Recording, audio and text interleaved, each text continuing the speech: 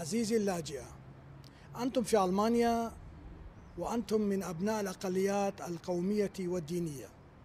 قد تتعرضون للمضايقات في أماكن إيوائكم.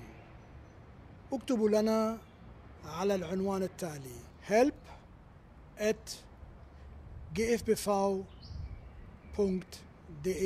شكرا جزيلا.